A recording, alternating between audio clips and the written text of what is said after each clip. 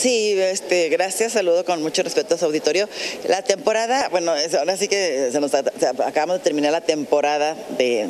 paisano de invierno, que se terminó el día 8 de enero, y ahorita la siguiente sería para la Semana Santa, que esa temporada es la más baja de las tres temporadas, ¿no? Este, eh, todavía no tengo la fecha exactamente cuando la va a iniciar el programa, en esta fecha del Instituto Nacional de Migración, pero esta fecha no es así muy, muy significativa como lo que es la de invierno y la de verano. Y el operativo sería el mismo, está la misma, este, el directorio, todo el directorio que tenemos de las ah, dependencias que participamos, que encabeza el Instituto Nacional de Migración, con la Secretaría de General de Gobierno y todas las demás instancias. Entonces siempre hemos trabajado en forma muy coordinada y con muy buenos resultados. las eh, repatriaciones, las deportaciones se siguen manteniendo más o menos en un promedio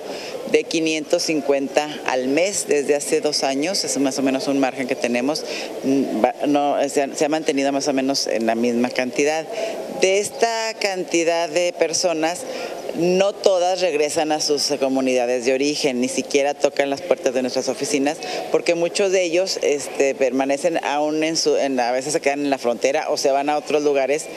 con la intención de poder regresar a, otra vez a, Estados Unidos, ya que ellos pues allá tienen una vida hecha, sus trabajos, sus familias incluso, ¿no? Entonces esta cantidad de personas no, no este, la, tenemos en un reporte que nos manda el Instituto Nacional de Migración, que manejan este programa, pero no vienen a dar exactamente, o si regresan a, Durango, no regresan a tocar las puertas de la oficina. Hay un programa, hay algunos programas que maneja la Secretaría de Trabajo y Provisión Social, como es este capacitación capacitaciones, este, un apoyo económico y en el caso de que decidan este, establecer alguna pequeña industria, se les apoya con en especie con una cantidad que va de 25 a 250 mil pesos en especie. Pero pocos son los que buscan estos apoyos porque más bien ellos su, su intención es regresar otra vez ahí.